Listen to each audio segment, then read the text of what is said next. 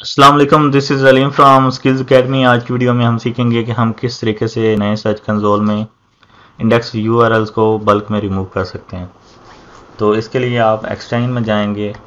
ये एक्सटेंशन का लिंक आपको नीचे कमेंट सेक्शन में मिल जाएगा। आपने इसे ड्रैग करना है डेवलपर मोड ऑन होना चाहिए। तो उसके बाद आपने जाना है रिमूवल्स में। यहाँ पे जाके रिफ़्रेश करना है। ओके और यहाँ से इसे अनेबल करेंगे। उसके बाद आप देख सकते हैं कि अनेबल हो गया। तो इसमें हमने सीएसवी फ़ाइल अपलोड करनी होती है। तो अब हम जाएँगे गूगल शीट्स में। यहाँ पे यू की लिस्ट बनाएँगे जिन्हें हम रिमूव करना चाहते हैं।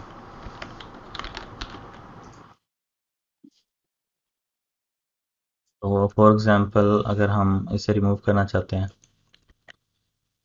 इसे हम ऐड करेंगे।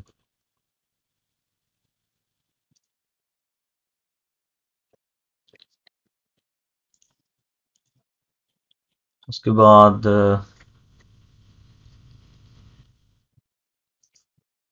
अकाउंट आर्काइव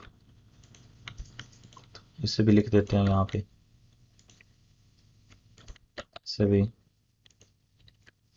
अब हम यहाँ से करेंगे एक्सपोर्ट आपने एक चीज़ याद रखनी है, आपने हमेशा dot C S V export करनी है डॉट एक्सएल एक्स नहीं करनी डॉट सी एस वी तो ये होगी डाउनलोड अब हम यहाँ पे जाएँगे सबमिट और पेस्ट कर देंगे।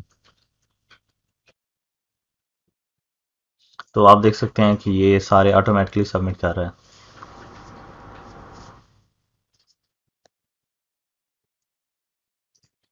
तो तीन ही रिक्वेस्ट की थी हमने और वो पूरी हो गई तो वीडियो देखने का शुक्रिया। उम्मीद है कि ये एक्सटेंशन आपकी काफ़ी ज़्यादा मदद करेगा।